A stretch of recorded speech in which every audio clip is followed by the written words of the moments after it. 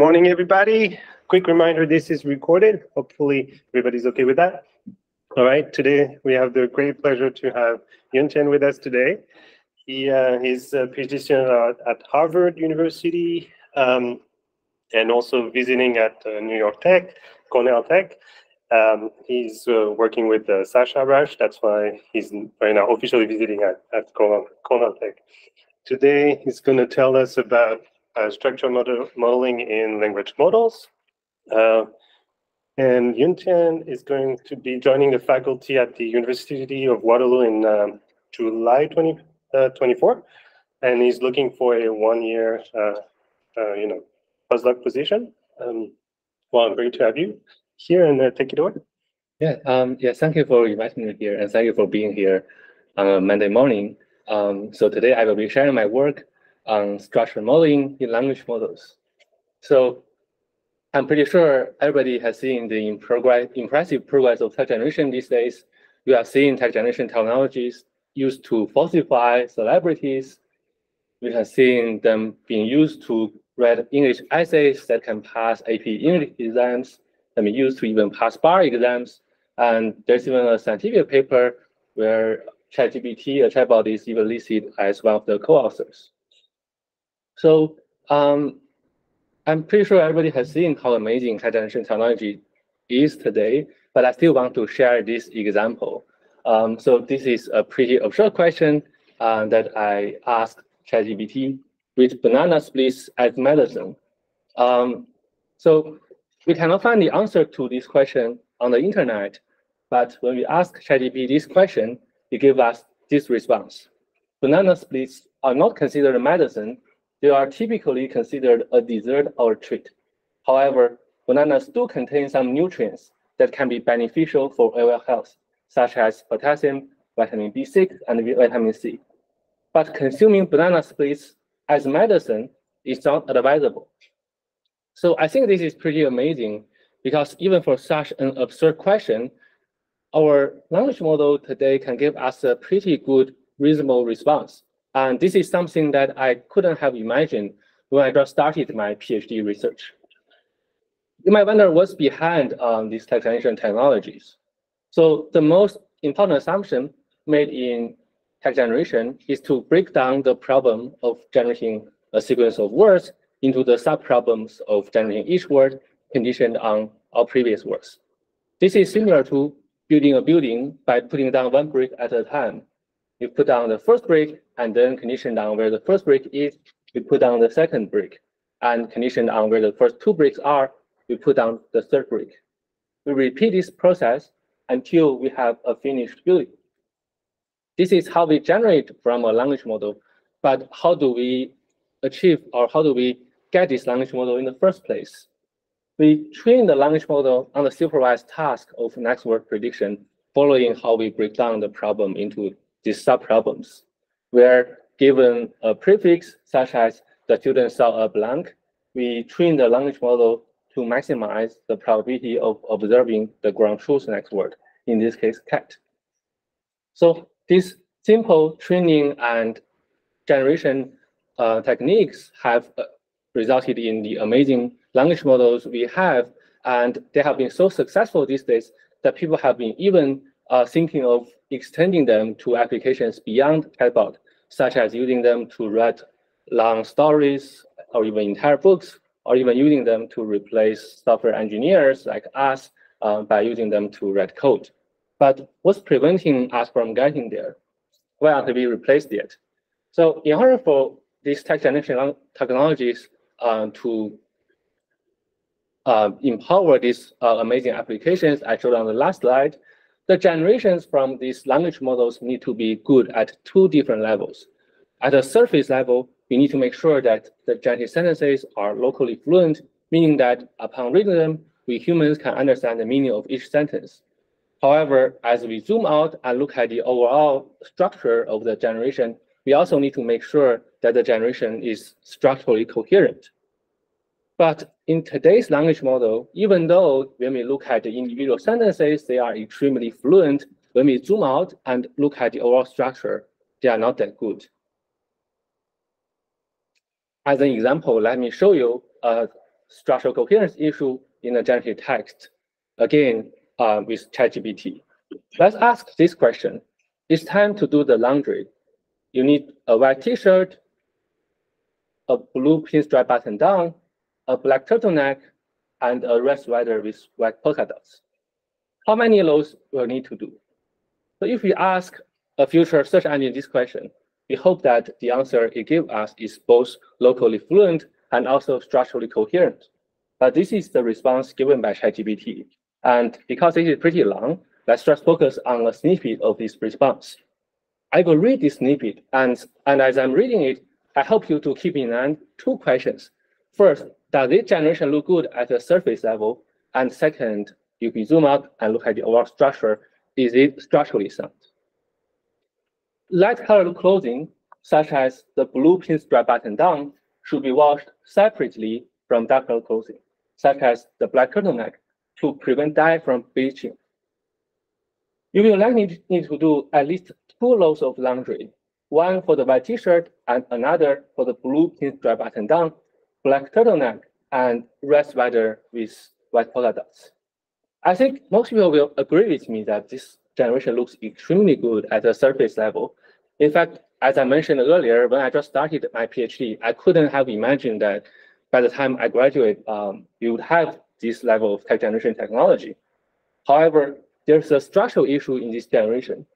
If you read the first paragraph, it said that the blue button down should be washed separately from the black turtleneck.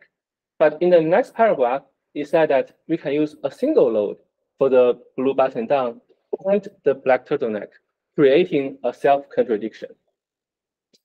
This is an example of language model generations being extremely good at the surface level, but when we zoom out and look at the overall structure, there are many issues. So my research focuses on studying these structural modeling issues in language models my research can be broadly categorized into two directions. The first direction of my work aims to extract and evaluate structures in language models, ranging from trying to identify structural issues in the generative text to trying to understand the rationale for making each individual word prediction. My second line of research aims to improve structural modeling, ranging from trying to bring in a global model to improve structural modeling to trying to use a hierarchical formulation to make the generation structurally better. In today's talk, I will introduce um, each uh, of my representative work from each category, and I will start from evaluate structural modeling in language models. Throughout this part of the talk, I will be using this running example. This is a generation from a GPT-2 large model, and this is pretty representative of text generated by language models today. So this is a meta story about a movie. And if you read it, you can see that it's uh, pretty fluent uh, if you re read each sentence. But there are many structural issues, as I will show later in the talk. So there has been a lot of research on how to quantify the surface level fluency of language model generations. But quantifying the structural coherence issues of model generations is an underexplored area. Most research in text generation is usually evaluated in some kind of um, evaluation metric for local coherence, for local fluency, such as n-gram matching, like BLEU score, NIST score. But um, there are not many works on how to evaluate the structural coherence of text generation, mainly because First, it is pretty hard to define the notion of structural coherence. And second, as I have shown earlier in the introductory uh, example, sometimes it's even pretty hard for a human annotator to identify those structural issues. So our work is actually inspired um, by MAUVE, um, which um, proposed to evaluate open-ended text generation by inducing and comparing the distributions. In particular, MAUVE evaluates open-ended text generation by comparing the distribution of um, the embeddings induced under a large pre-trained language model between model generations and human written text. And if there is any mismatch, then that indicates some generation issues. And our approach um, induces the distributions at a structural level. It consists of three steps. In the first step, we assume that we have access to a critic that can extract structure, structural features from text. So we first take a sample from the language model, and then we apply this critic to extract some structural features. Here, I'm talking about structural features in a pretty abstract sense. So I'm representing them as these connected boxes. But later on, I will show concrete examples of what I mean by structural features. And in the next step, we learn distributions over these extracted structural features. We learn two different distributions. We learn one distribution over the induced structural features from model generations, and we learn another distribution over structural features from human written text. So by the end of this step, we would have two potentially different distributions, one for the model generations, another for the real data. In the third step, we would compare these two distributions and check for any mismatches.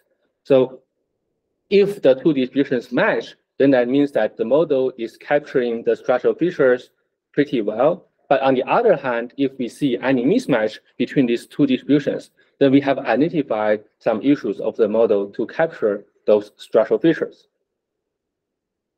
As I'll show later using examples, there are actually many different notions of structural features. And for that purpose, for each notion of structural feature, we need to use a different critic. And for each different critic, we need to repeat the previous three steps. So the framework that I'm talking about is um, called model criticism or model checking in the Bayesian literature, um, which is a decades old technique. But here we are applying this technique to analyzing modern language models. Okay, so now that I have talked about this method uh, in the abstract sense, let's look at some real examples of how it works. As a reminder, I will be using this running example article to analyze different notions of structural features. In particular, I will analyze two different notions of structural features using two different critics, and I will show issues, structural issues of this running example. The first structural feature we look at is section structures.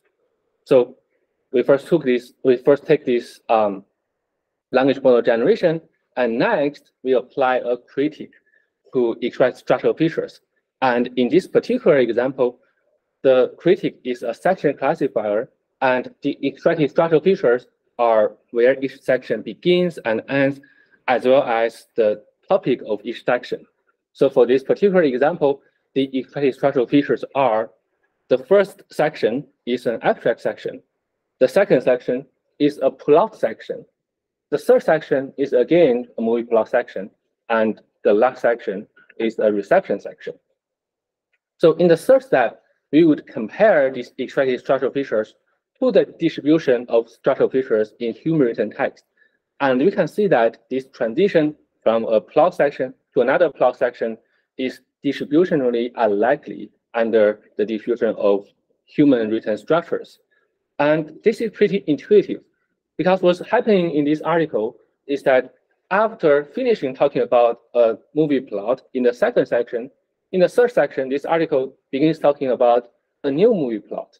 And the human writer would never write an article in this way.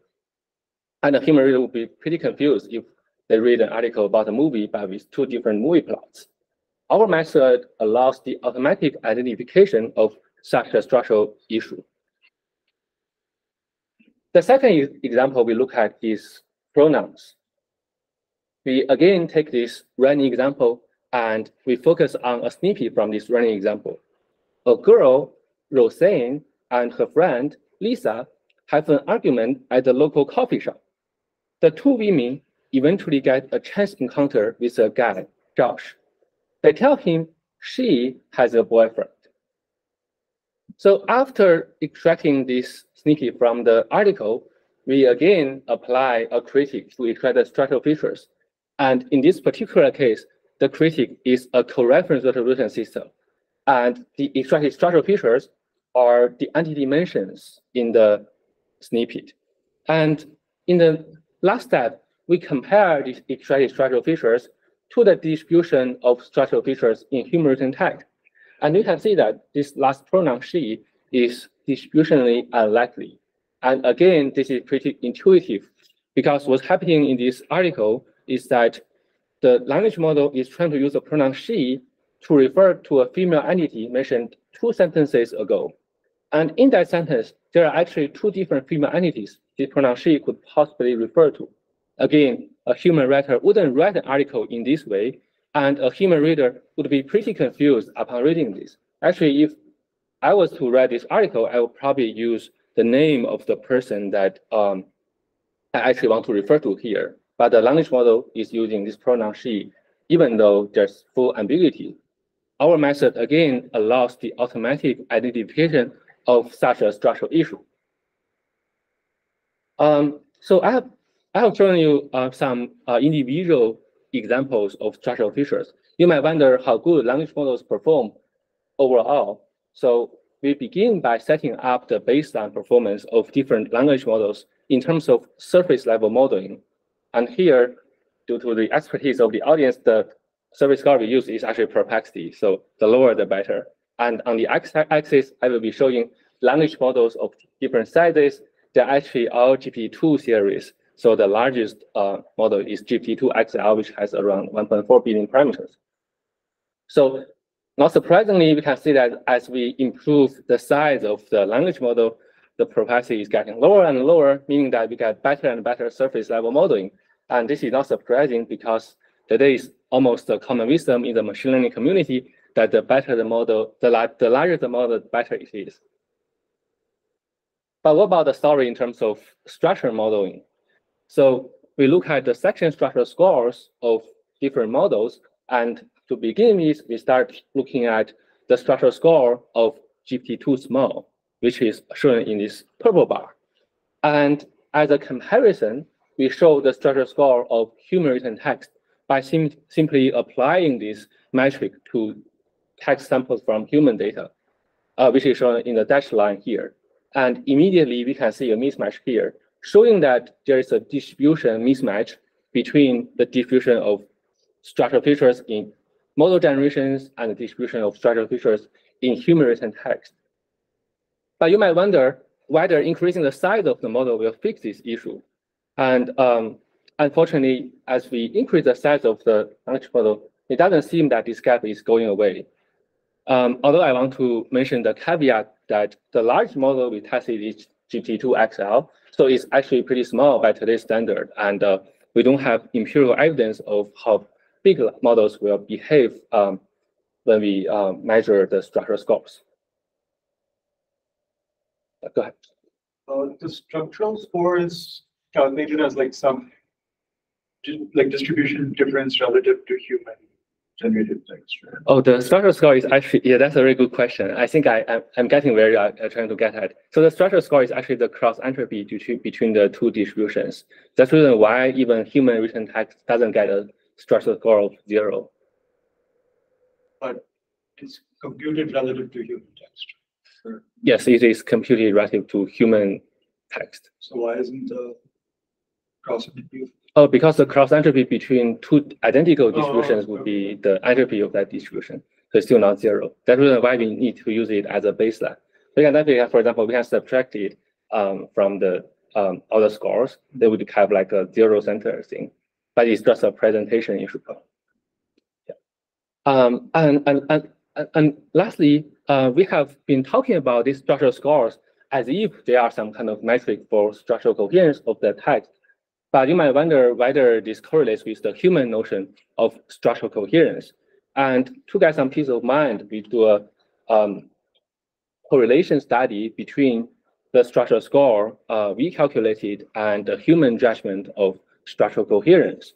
And here on the x-axis, I will be showing the human score, the human judgment of structural coherence of different systems. And on the y-axis, I will be showing different um, evaluation metrics uh, computed at, different systems. And we will begin by looking at the correlation between surface score, which is perplexity, and human score. And we can see that there's not a perfect correlation here, showing that word level or surface level score does not correlate with the human judgment of structural coherence. And as we use the structural score computed uh, using model criticism, we can see that the correlation is much stronger. So I have shown the quantity results, but you might still wonder what exact kind of errors the model generations make compared to human written text. And here I will be visualizing the section transition differences between human written text and model generations. I will begin by uh, introducing the notations. So here I will be using the node uh, to represent a section topic and each edge to represent a section transition. The number labeled on each edge is the difference between the section transition probability measured on real data, sorry, measured on model generations and the section transition probability modeled on human written text. And optionally, we might use red to highlight a transition that we never observe in human written text. For example, this red arrow is highlighting the fact that this transition from a background section into a word section was never observed in our training data. So this is the overall section transition differences between model generations and human written text, where the width of each line is proportional to the absolute differences in the scores. And let's look at individual section transition errors that the model usually makes. So the most common type of section transition error is to repeat a section, as shown by these um, self loops. Those are the repeat. Those, those are not um, observed in data, and an example which has been shown in the running example uh, from the movie plot into another movie plot. Another type of section transition error is to end the article too early, as shown by this transition, where it directly transitions into a of sequence symbol right after the background section. And this is pretty weird because a human writer wouldn't uh, just an article abruptly upon just right finishing writing the background section.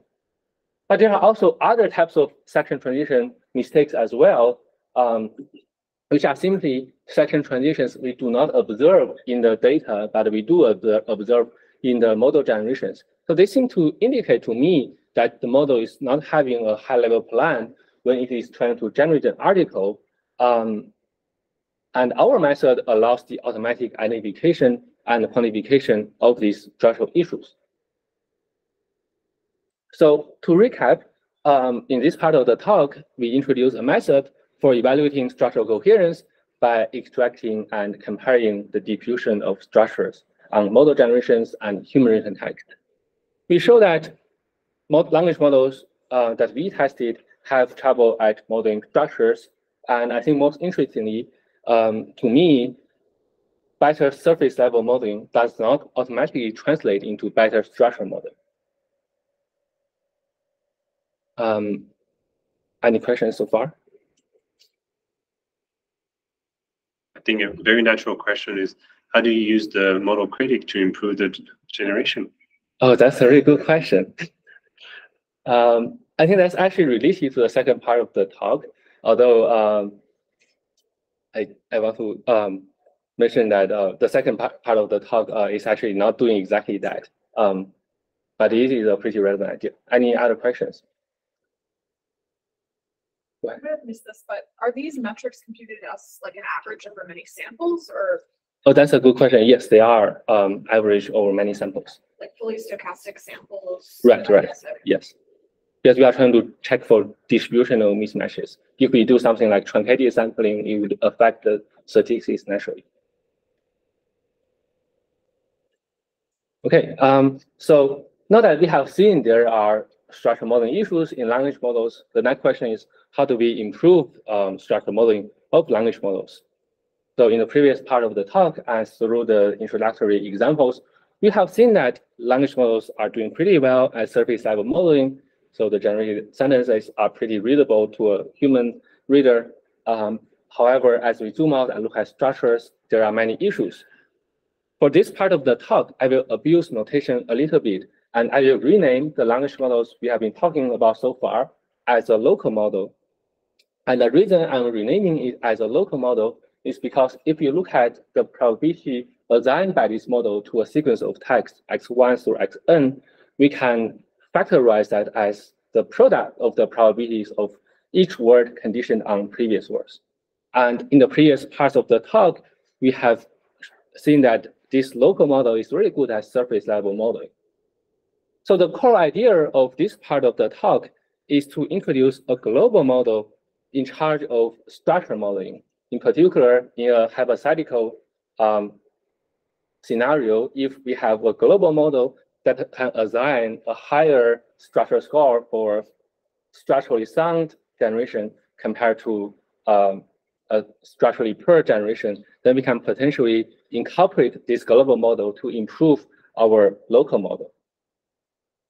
So our joint model is a combination of the local model and the, the global model, where we simply multiply these two models together.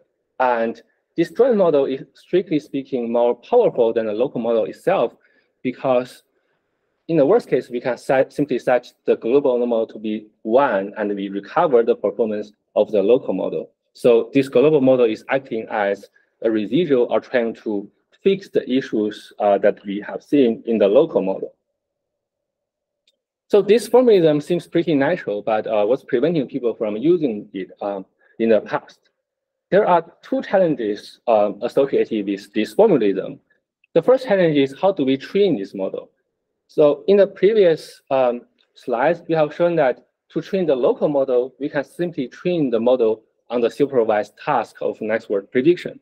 For example, given this prefix, the student saw a blank, we can use the local model to produce a score over the each of the word in the vocabulary, and then we can normalize the scores to get a probability. And then we can apply maximum likelihood estimation to train the model. But once we introduce the global model into the picture, we need to not, we cannot normalize over the possible words in the vocabulary. Instead, we need to normalize over the possible sequences to get a valid probability distribution. And the size of the space of the possible sequences grows exponentially with the length of the sequence. So doing this is computationally infeasible, and we cannot directly apply maximum likelihood estimation to this um, model. So the key insight of this work is our goal is to have the joint model, which is a product of the local model and the global model to be equal to the distribution of written text. And we can do simple arithmetics by dividing both sides of the equation by the local model. So we can see that our goal is to have the global model to be equal to the density ratio between human written text and the local model. So we have converted our training problem into a density ratio estimation problem. Although this problem is still pretty challenging, because even though we can easily sample from the human written text distribution, we cannot evaluate the probability of some text under the human distribution. So another trick we use is to simply apply Bayesian theorem and convert the density ratio into this probability of some text being from a human author over the probability of this same text coming from a local model. And these two probabilities can be easily estimated by training a classifier to distinguish human written text and local model generations. After training this binary classifier, we can simply take outputs from this binary classifier as the estimates for some text coming from the probability of some text coming from a human author or the probability of the text coming from a local model. So to put everything together, we first construct a data set of local model samples and human written text, and then we train a classifier. And based on this classifier, we can apply Bayes' theorem and estimate the density ratio. And the joint model is simply the product between the local model and this global model, which is the density ratio. So to get more intuition, let's consider a 1D toy example, where we assume that the text we have uh, falls on this um, on a one-dimensional line, and we are showing the density function of human text on the left-hand side of the plot and the density function of the local model generation under the right-hand side of the plot. And we can see that these two distributions mainly differ in the highlighted region. So if we train a classifier to distinguish human text from local model generations, it will assign a low score to anything in this highlighted region. Because in this highlighted region, there's just a higher density under the local model distribution compared to the human distribution.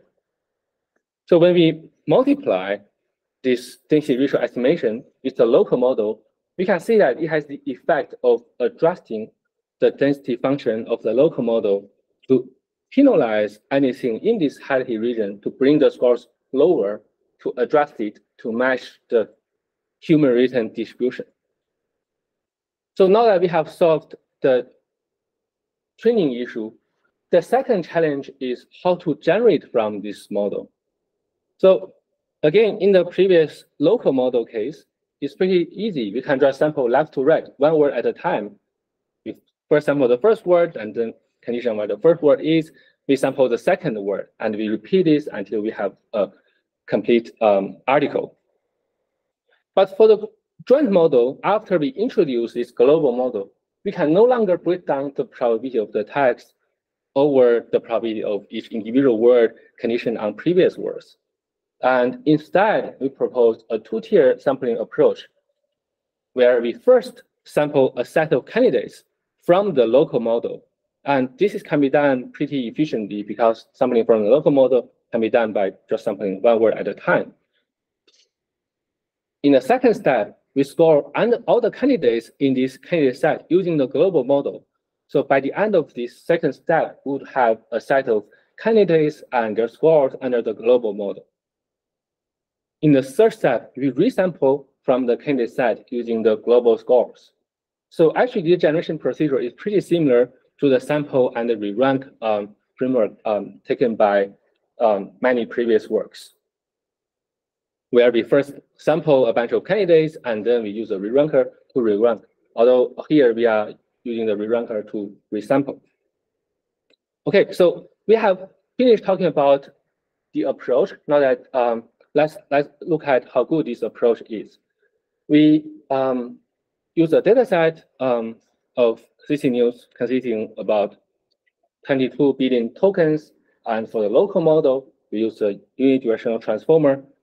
For the global model, because of the fact that it can um, get access to the entire sequence at once, we can potentially use a bidirectional transformer, and we can leverage the pre-trained bidirectional transformers such as BERT or RoBERTa and uh, we train this model using say four GPUs for uh, roughly 10 hours. So let's first look at how good the models perform at a surface level. First, we look at a baseline performance established by evaluating the local model itself in terms of perplexity. And next, as we introduce the global model, we can see that we get a slightly better perplexity. And if you use a pre-trained global model, we can get even better um, surface score. But what we are most interested in is the structural coherence of the generations. For that, we perform a human evaluation where we compare generations from different systems and ask human annotators to say which generation is better. And as a baseline, we compare generations from the local model to generations of um, humans or human written text. And we can see that human written text is preferred around 69% of the time. But once we introduce the global model and compare generations from the joint model to, mod to human written text, we can see that the new generations are much harder to discriminate, uh, to be discriminated by the human annotators. And when we compare generations from the local model to the generations from the joint model, not surprisingly, we can see that generations from the joint model are preferred more often this is a binary setting, right? You yeah, binary setting. Them to yes, yes, yes. Um, and after we have seen the quantitative results, let's take a qualitative look at what the global model is doing to better understand the model behavior. For this experiment, I will be conditioning the generation to this common prefix. Amanda said, I'm going to start acting again. I want to do TV, maybe a few guest spots. I'm not going to, going to do a blank. I will use the local model to generate completions of this prefix. And then I will use the global model to score the complete sequences. So the first generation from the local model is, I'm not going to do a television show. We can see that this creates a self-contradiction, similar to the laundry example we have seen earlier. That earlier on, Amanda said that she wants to do TV, but then she said that I'm not going to do a television show. And you can see that the global model is able to assign that a low score. The second completion um, doesn't create a contradiction, but is create kind of a repetition, um, which is pretty characteristic of a language model generation. So the second completion reads maybe a few guest spots. I'm not going to do a SOAP, but maybe a guest spot. And again, we can see that the global model is able to assign a low score to this sequence. And when we look at completions without obvious um, issues, we can see that in general, the global model is able to assign higher scores um, to those generations. So this basically tells us some insight about how the model works because there are certain characteristics of generations from the local model that can, that can be picked up by the global model. The global model will be able to penalize those uh, issues and adjust the probabilities of those sequences to make them lower thereby alleviating the structural coherence issues from the local model. Um, okay, so to recap, um, in this part of the talk, I introduced a global model into the local model to improve structural modeling. And we have shown that the training of this model can be reduced to density ratio estimation, which can be further reduced into training a binary classifier. And experiments show that generations from the system get better surface scores, and also the generations are considered more coherent by human judges. Um, and actually, I realized that um, this work is relevant um, to the iterative self-distillation or self-imitation learning in the sense that the generations might be further used to fine-tune the local model to further improve it, and we can probably repeat this procedure iteratively. Um, regarding the global model performance, don't you think that if your local model is not good enough to give you good samples to begin with, you will still be upper bounded by the performance of the local model? Yeah, that's a very good question. That, uh, so it, is indeed the case with the current decoding algorithm, but I say I think modeling is a separate issue from decoding. So the two-tier sampling approach is building the final sample by first sampling a set of candidates from the local model and then resampling from this candidate set. So imagine if we have a noise distribution as the local model, then there's basically no chance of getting anything reasonable to begin with. So no matter how good we, how hard we try to re-rank, uh, we wouldn't end up with anything reasonable. Um, but I say, um, first, theoretically, if you can sample infinite number of sequences, there will be still be some good sequences, even using the noise distribution. And second, that's why I mentioned, I think generation is a separate issue from modeling. This is only one way of generating from the model. Actually, there was a follow-up work um, of our work um, by a university in, in France, which used um, Metropolis Hastings to more efficiently sample from the joint model which can, I think, alleviate this issue by kind of also sampling in this autoregressive way and estimating the future rewards by kind of rolling out the Monte Carlo tree. Yeah, but I think that's a really good point. And, and also, by the way, the experiments we run are pretty expensive in the sense that we actually took 10,000 samples for per sentence and then we rank them to kind of get the best kind of boost in um, performance. So I think it's indeed a very good point um, that this is upper bounded by what's available in the candidate set.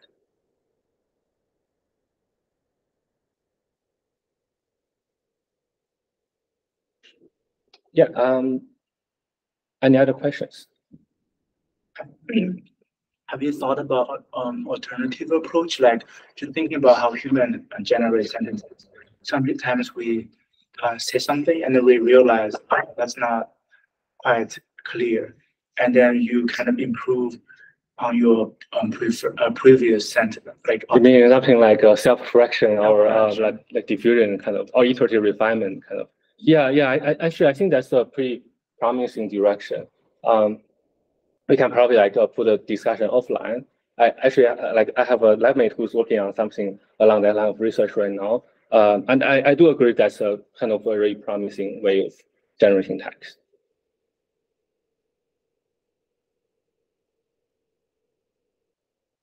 Um, yeah, if uh, there's no other questions, I can talk about my my future plans. Um, so my research have been doing um, like structure extraction, structure evaluation from these language models. And in the short term, I'm interested in how to extract semantic parses from language models. For example, these uh, dependency trees as shown in this um, slide, I think this might be useful for, um, for example, better understand um, the language. To me, language models serve as an interface between humans and machines, and I feel that being able to convert the unstructured text into some structured knowledge representations would enable us to build better systems because machines, they can work very um, naturally with the structured representations compared to unstructured text. And maybe language model can just serve as the interface to do the first phase of translation. And then we can just um, build our system in the structured space. For example, this example, I, I just try to show that um, the morality of uh, action depends on the context. And by having a structured representation, we can um, more easily classify which is okay, which is not okay. So the goal of my uh, short-term research is to um, develop or find a way to extract structural representation of text in broad domains. Um, and hopefully I can um, kind of by the end of the year, uh, uh, I mean, in, in, in a year's time, I can get an efficient semantic parser and also a data, data set as a byproduct. And I hope that the structured text representations can be applied to downstream applications, such as common sense morality or even summarization, because if you have a structured graph, not like semantic graph representation, maybe it's easier to summarize even from multiple documents, or it can interact with external APIs, such as um, booking on your calendar or trying to query a database to answer certain questions. And the research questions that I try to answer are, first, how do we represent um, semantic parses? How do we um, linearize them such that they can be outputted by the language models? Because language models are not trained on a lot of data containing these um, grammar trees. I think this is um, probably the first question I know that I need to answer. And I was thinking of like something like along the line of uh, in between dependency tree and AMR. The second question is how do we make sure that the output parses are valid? For example, for AMR parsing, if we output a sequence of shift-reduce actions, we need to make sure that it is executable. And for that, I think constraint decoding, such as NeuroLogic, would be pretty relevant. And third, what if language models are bad? I think this is actually pretty likely given that language models are not um, pre-trained on a lot of uh, data containing grammar trees. And also I'm trying to um, use smaller language models that for which we have weights, uh, accessible weights. And for this, I think the kind of critic self-imitation learning, self-distillation uh, would be useful, definitely. And also I want to explore using prompting or trying to derive a consensus solution from different language models um, if um, we still cannot get good enough performance from the previous techniques. Um, yeah, with that, I, I want to end my talk and I'm happy to take any questions.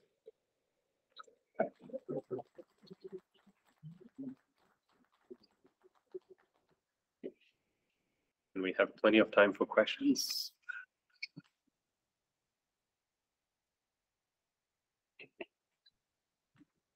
general I love the uh, idea of considering structures explicitly. Um, yeah, I think uh, towards the end of uh, your talk, you're talking about future directions and how maybe these large language models are not necessarily trained on specific structured representations. Um, but I'm a little bit uh, addicted to Twitter, and as I'm scrolling on Twitter, I saw a screenshot of GPT-4 outputting an example from the CoNLL 2003 like tree bank.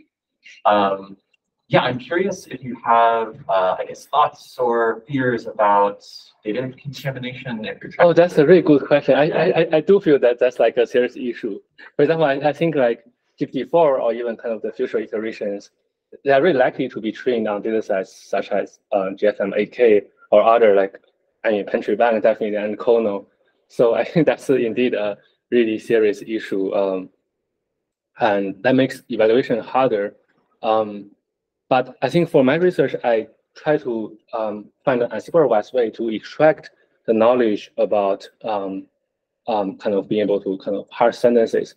And, and if the knowledge is um, kind of already contained in a language model, no matter like how they acquired the knowledge, I think that's probably not a kind of big concern for me. If, if for example, um, I, but I, but I, I can imagine it might make kind of evaluation harder. We need to make sure that we evaluate on kind of cases that are not existing in current data sets.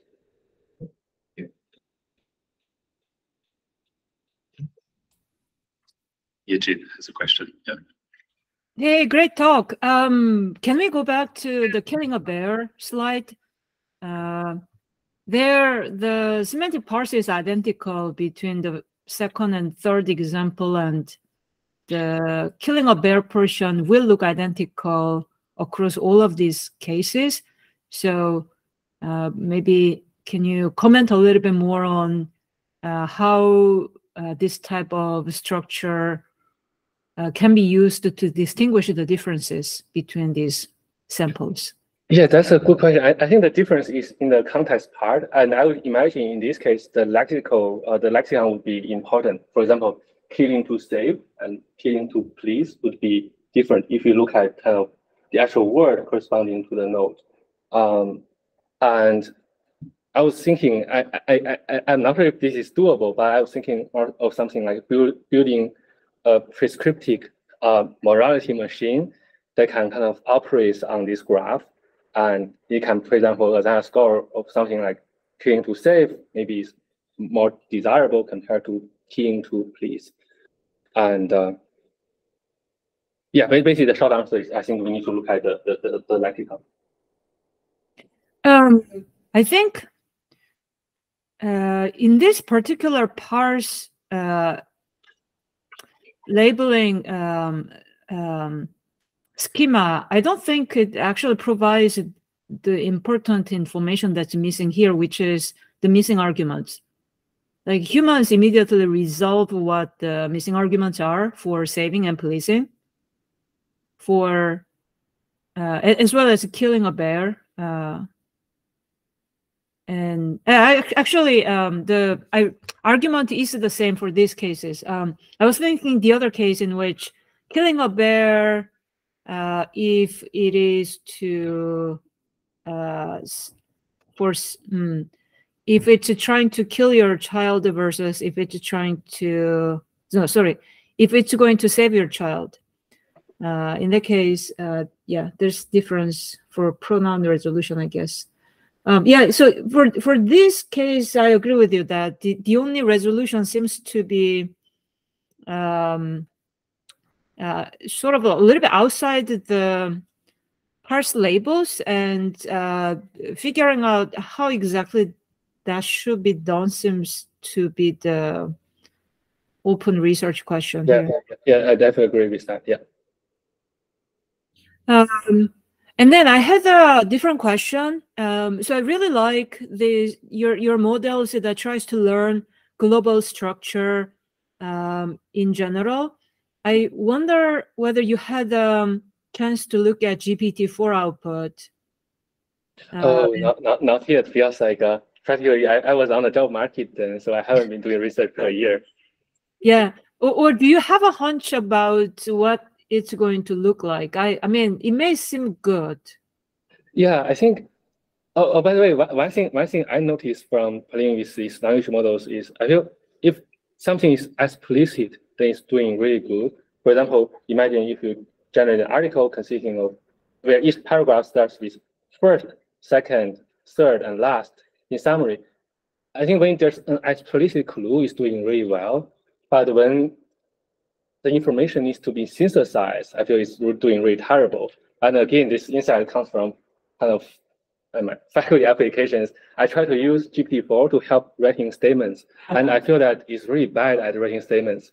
I just didn't get much help from it. For example, I want to separate out my research statement into my past research and future research. Even something that simple is very hard to do. And also I found that, for example, you want to say, I mean, this is probably well known that it's hard to control the output length.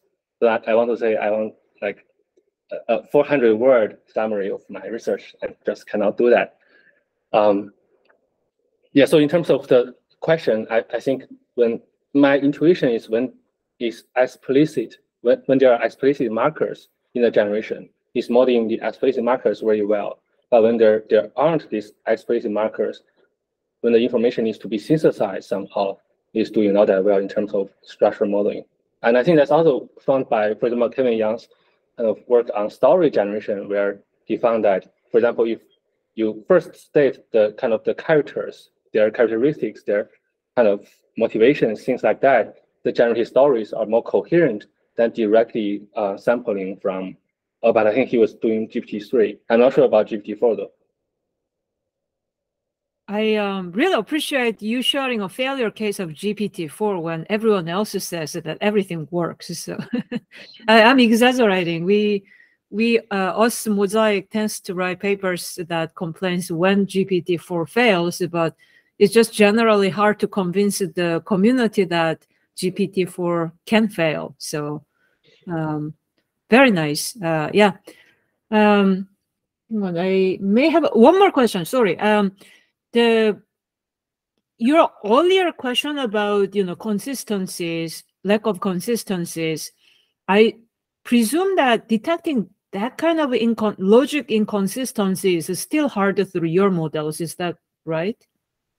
Uh, yeah, that's a, actually a very good point. So actually, in my actual, um, I was using that as a motivating example, but in my actual experiments, for example, I'm focusing on section structures, which is probably different from logical consistency. Yeah. I feel that being able to analyze logical consistency issues rely on having access to a really good kind of logic parser or something like that.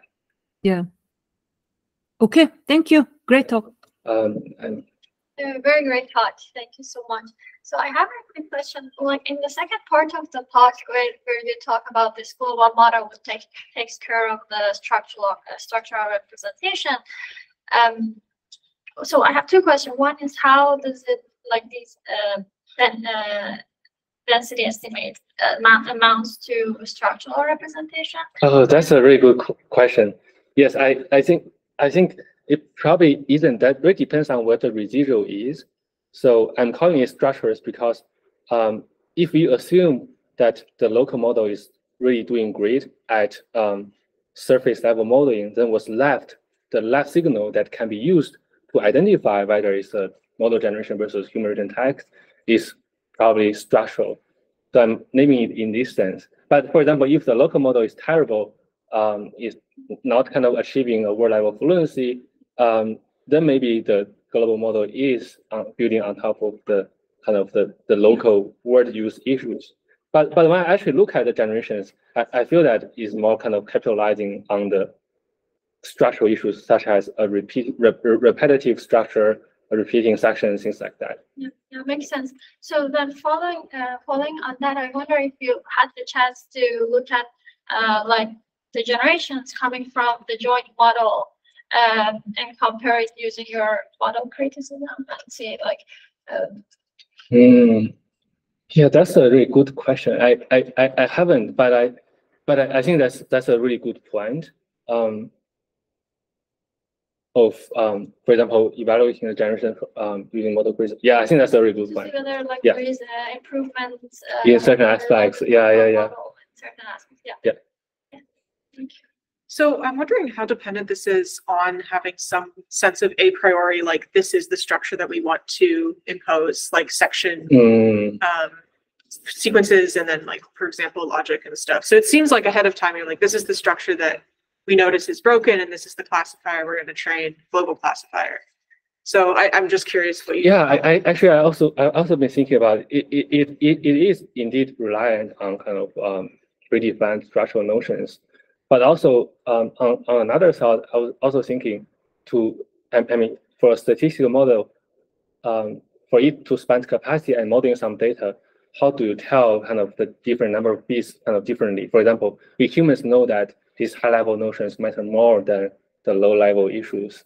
Um, but for statistical model, without giving it the inductive biases, maybe it's very hard for it to know that uh, where it should spend its capacity on.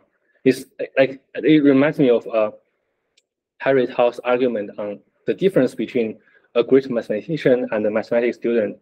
He said that a great mathematician kind of because they are kind of far apart, kind of from doing the low level proofs. If you look at their proofs, there are like some typos and mistakes but they are easily fixable because the high level intuition is, is usually right. But for a mathematics, mathematics student, they rely on kind of, they are, they are really good at writing these kind of rigorous proof chains. But sometimes like a single mistake in the proof chain will invalidate the entire proof. So it's a dif difference between a mistake at a low level versus a mistake at a high level. And it, it feels to me that language model is kind of having similar behaviors. If I look at GPT-4 generations, for example, I feel that it's making way fewer grammatical errors compared to me, but I feel that I'm probably doing a better job at, I mean, at least in writing my own research statement, I'm doing a better job at kind of the high level kind of dynamics. Um, I think they talk about a lot like the structural features um, in the first part of the work, like the section, and also talk about a lot of like fine grained um, structural representation, like AMR. I was wondering whether you thought about it as something like in the middle um, to better represent like the structural in a long document. Say, it will be very hard to extract like a semantic like AMR part from a Mhm, long mhm. document, but personally, I feel like the section identifier seems to be a little bit more abstract. So that's something like the middle. Yeah, yeah, that's a good point. I haven't thought about that before, but I think it's indeed kind of worth thinking about. So it's like, yeah, I can imagine maybe something like a hierarchical way of representing structures would be nice. Um, but uh, but for, for now, at least in the short future, I'm just thinking of like a, a few sentences, something of, at that level.